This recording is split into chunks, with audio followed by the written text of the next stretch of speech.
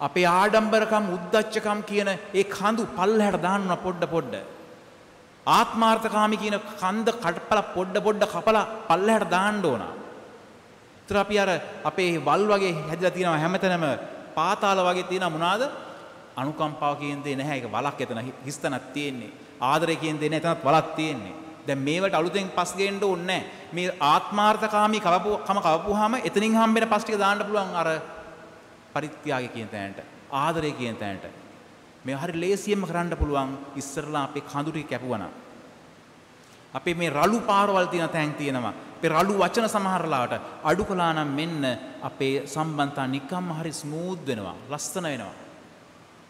හැමදේම අතපය උස්සන් යන්නේ නැතුව ගහන්න ගහලා ප්‍රශ්න විසඳන්න නැතුව කෑ ගහලා නරක වචන කියලා ප්‍රශ්න විසඳන්න නැතුව අපි යනවා නම් මෙන්න ලස්සනට අපේ ජීවිත සමතලා වෙනවා. මේ වගේ තියෙද්දි ප්‍රශ්නයක් නැතුව තියෙද්දි ජේසුස් අපේ ජීවිතේට හරි ලේසි.